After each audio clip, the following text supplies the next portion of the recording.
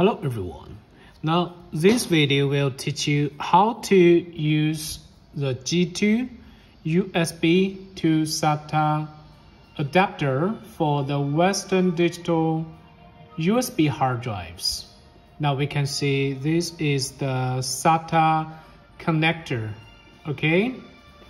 Now we can see here, uh, there are two screws to fix this SATA connector to the USB hard drives. Okay, let's have one USB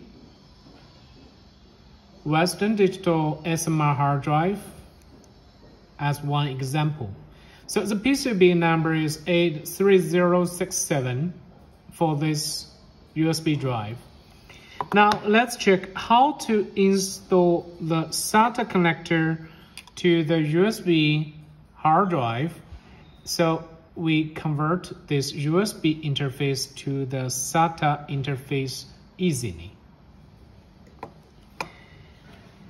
You know, in many SMR Western Digital hard drives, there is encryption key stored on this MCU. Okay, this is a main chip, main controller chip.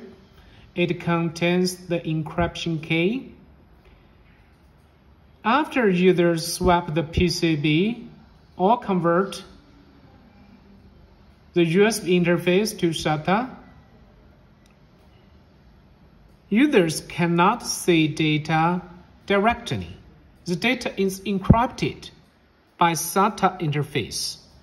But if users install SATA connectors on the original, okay, this is original PCB. Install this adapter to the original USB PCB. Then, users can bypass the data encryption by the SATA ports because the MCU, the main chip, is here. It's not changed. If users just simply swap with one donor PCB, but the main chip is not here. The original main chip of the original PCB is very, very important. Okay? Now, let's see how to install this SAT connector to this USB drive. It's very, very easy. Here are two screws, okay? Two screws, so we need to put like this one. Then, we can simply use this screw to fix, okay, to fix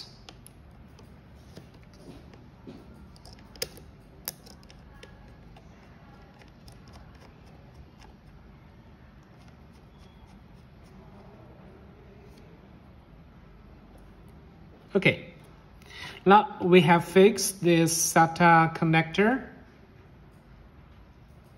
to the USB PCB. So it's very easy, right? Now we can connect this USB hard drive by SATA interface to the common data recovery hardware. For example, uh, I'm using the DFL SRP. Okay, this is the most popular data recovery hardware. Now we need to connect this one. Okay, connect the USB hard drive by SATA interface to the, uh, this is a power cable. Okay, and this is the data cable, the hard drive data cable. Connect this one okay.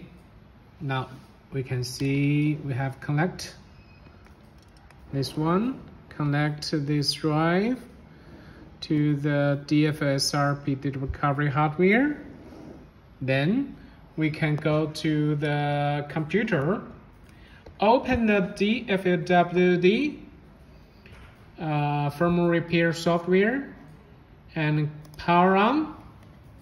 Okay, then we can power on the software, power on the patient drive. Now we can see the drive gets ready. Then we can start the firmware repair. After we power on this patient drive, we can see the drive gets ready. The status register, the DRD and DSC are green. This means the drive is ready. Now let's check the status of the drive.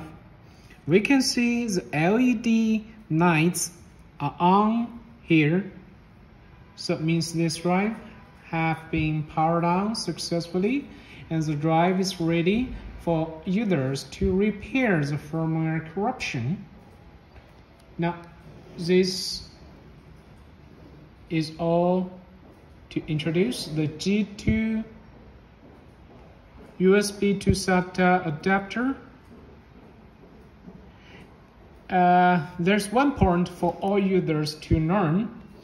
This adapter works not only with the DFL uh, SRP data recovery hardware, this G2 adapter works with other similar data recovery hardware too.